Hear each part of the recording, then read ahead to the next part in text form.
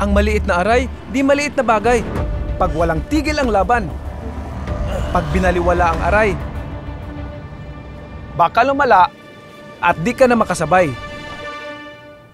Balik agad sa laban. Alaksan Ifaragad. May doble galing ng ibuprofen at paracetamol. Diretso sa pinagmula ng sakit. Laban lang mandirigma. Sa maliit o malaking aray, alaksan Ifaragad. Alagang Unilab yan.